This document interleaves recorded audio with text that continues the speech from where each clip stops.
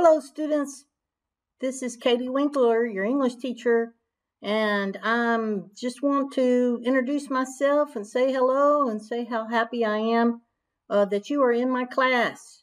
I just wanted to make a short screencast to let you see some of the elements of the course before we get started so that um, if you have any questions, you can ask me and so that you can hit the ground running because this is an accelerated English course, which means we have to get 16 weeks of material in eight weeks.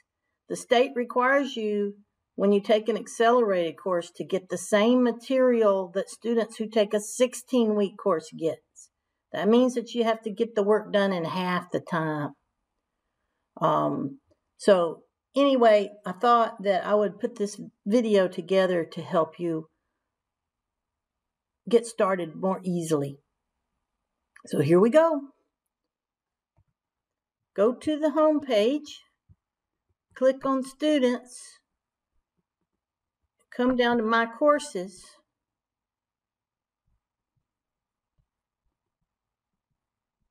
And then come up here to, to your courses and it'll look something like this. All your courses will be laid out here. And you want to click on English 111 401W. So click on that.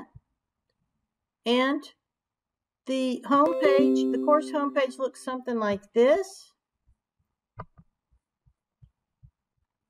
With the picture of Grandfather Mountain. This is an important place to go first to get the course announcement or anytime to get the course announcements. Uh, if you have any questions or you want to discuss something with your fellow students or ask a question of me or your fellow students, you can do that here. We have a section on how the course works, the very important course syllabus um, that will change I haven't done that yet. This is still summertime, as you can tell. I'm in my home and um, I'm going to be putting up the new course syllabus. So it'll be 2021 uh, fall. Uh, this course schedule will be there. Let me click on that. You'll see a tentative schedule of each module, eight modules, eight weeks. The introductory material will be done in just a few days. You won't get a whole week to do the introductory material. Uh, over here, the major writing assignments, um, I try to keep them to a minimum without hurting the content of the course. So the first two modules are writing sentences and paragraphs. Then we write the essays, two essays, uh, a comparison and contrast and a causal analysis. Then we write a summary. Uh, you write an annotated bibliography for your research paper. And then we write the rough and final drafts of the research paper and a final reflection essay. Um, and the due dates come quickly and it goes quickly. You're writing a major writing assignment each week. That's just the way it has to be because it's accelerated English class. So think carefully if you want to be in this class while you still have time to change. People, this course is designed for people who want to get quickly through their English courses um, and who are already fairly strong students if you have trouble with English, if it's not your favorite subject, this is not the course you want to be in. So you might want to talk to your advisor about changing to a 16 week course if you think that you can't match the pace, especially if you have a lot, eh, have other 16 week courses. If you try to take this eight week course along with 16 week courses, that could be difficult. But if you think that you can do it, and are prepared to keep up with the work, then you'll you'll be able to take your English 112 in the second 8 weeks and be finished with your required English courses in just one semester. So that's the beauty of it, but it is a lot of work. Now I teach the 112, the 8 week 112 as well. So um uh so you would have me for both 111 and 112 and that's another advantage because you'll already know kind of how I work, and I'll be talking about things that we're going to be doing in English 112. You'll be better prepared for how I grade um, and what I expect from your writing. So there are a lot of advantages to taking it, but the, the disadvantage is the pace. It's a very fast pace, and there's just no way around that. I will say, having developed both of these courses, that this course is is more intensive than the English 112. However, the English 112 is still an 8-week accelerated course. But the pace drops a shade and it's a little bit uh, more manageable. But again, if you don't think that you can manage that, then you might want to consider um, looking for a 16 week class that's open. Um, I will do everything I can to help you. That there's no question about that.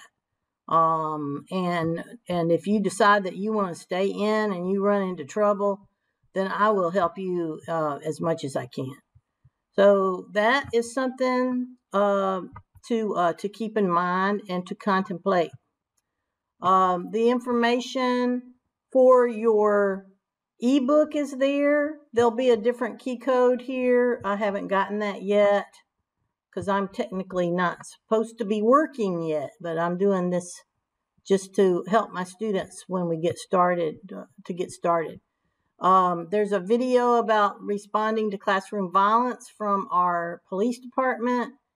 There's a link here to uh, my favorite, one of my favorite grammar websites that has a lot of um, exercises you can do if you have issues with grammar because we don't have a whole lot of time to talk about grammar in here.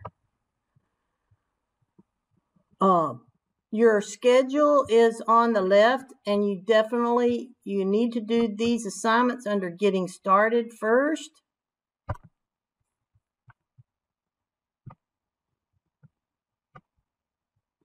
Very important that you do this syllabus confirmation quiz. Just a few questions and it's very easy to do, but it is a grade and it is required. The solo confirmation quiz, if you've had other online classes or you took the online uh, or you took ACA already and you had the online orientation, then you already have a certificate. If you have not done the online orientation, that's what the solo is then you're going to uh, want to do that because you have to upload your um, your certificate in order to get credit for this. The quiz is just a one question quiz where you have to upload your um, your certificate. There's a link to the online orientation in that quiz if you have not um, done it. Uh, it takes uh, it takes a while to do this, the uh, online orientation.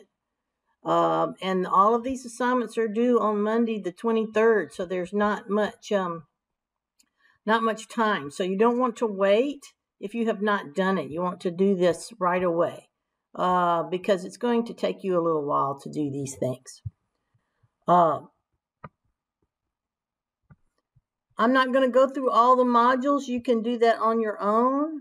Then there's your first lesson, uh, lessons that you do. You can just simply move through them. You'll see me and there'll be this video that I'm doing now replacing that video um, in the uh, less the first lesson and then you just click and follow the directions. It's just very easy to go through. You will not get credit if you just click through. Uh, it won't let you um, go if you have the wrong answer. Um, it will um, force you to go back. So, um, so anyway, the best thing to do is to listen to the video so that you can answer so that the questions can be easily answered.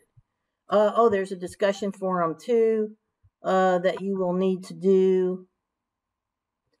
Um, and you're just going to write a brief um, paragraph to introduce yourself, answering these questions. And this is kind of giving me an idea of what your writing is like. And then, uh, so try to do, you know, don't worry about it. I'm not grading grammar mechanics or anything, uh, but give me a true idea of your writing. Don't just blow it off.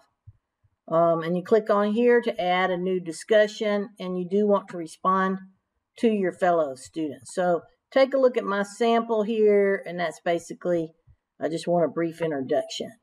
Uh, it is a grade, but I'm mainly grading that you did it um, and get an idea of your writing skills.